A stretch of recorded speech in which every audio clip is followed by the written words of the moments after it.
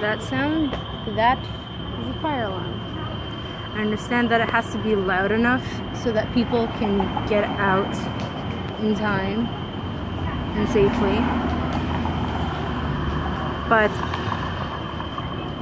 hearing it outside is nothing compared to hearing it inside. My dog puked because of it. I felt like puking. I almost had a seizure because of the sound.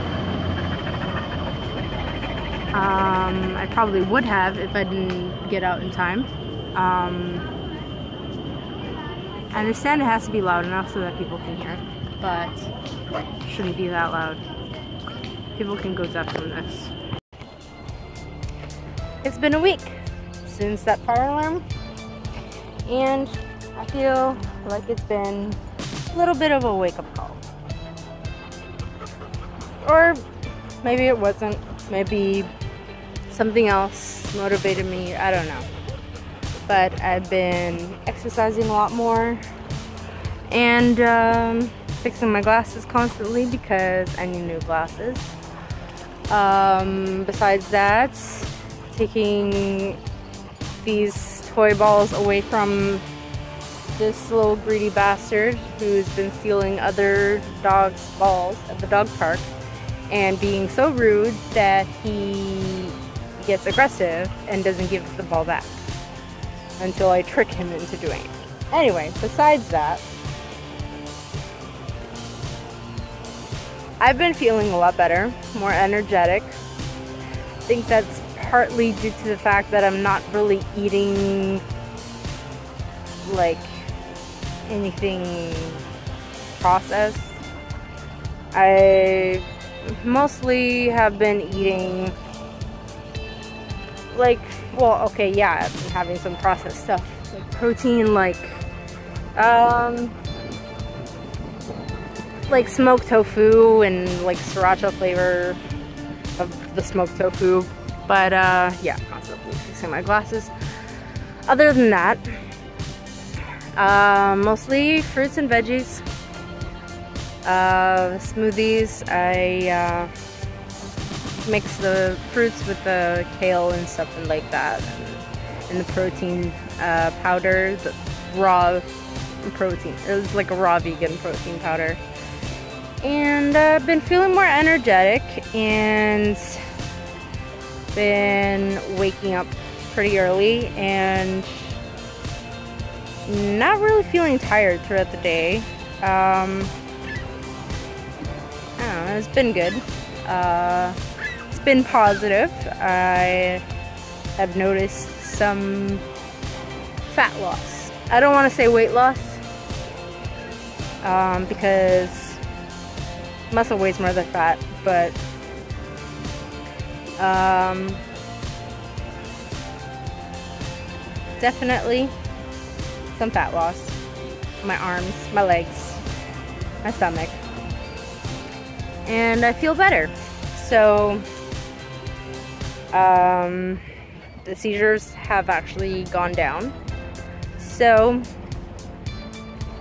I think I'm just gonna keep doing what I'm doing right now. And I'm gonna enjoy all of this that I have and just bask in the sun and enjoy the sunlight, get a nice tan maybe obviously not fall asleep in the sun because I don't want to get another sunburn. Which was so weird because the sunburn I had was just on one shoulder. Not even like the full shoulder. Just just the corner of the shoulder. So weird. But anyway. Time to make the trip back home from the dog park and enjoy a nice shower who wouldn't have a good day when they're constantly seeing this, huh? Am I right or am I right? Xena, who's a good girl? Who's a good girl? Oh, she's so cute. And Debbie's just being a weirdo. Yeah. I definitely feel like this view, definitely. Is that even word? I definitely feel like this view is a lot better. Beautiful CN Tower, beautiful view, beautiful lake,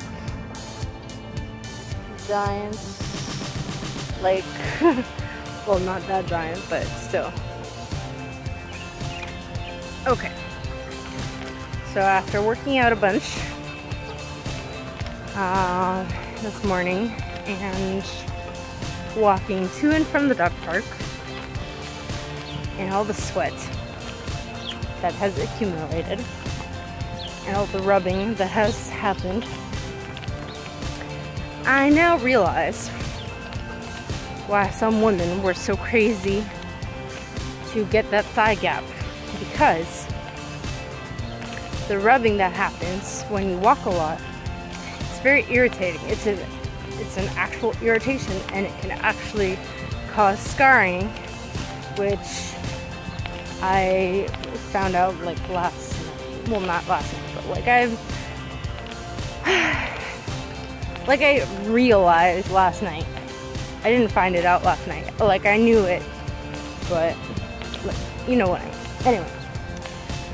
Uh, yeah. So I realized that so many women and possibly even men have tried to obtain this thigh gap because the thigh gap I don't have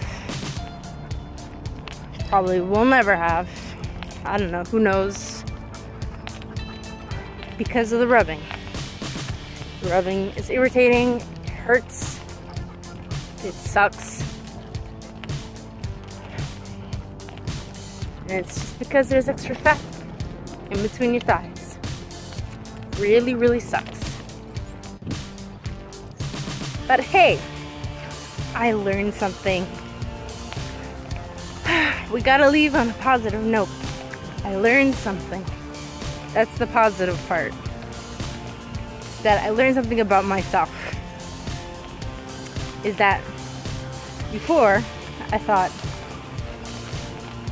screw the thigh gap.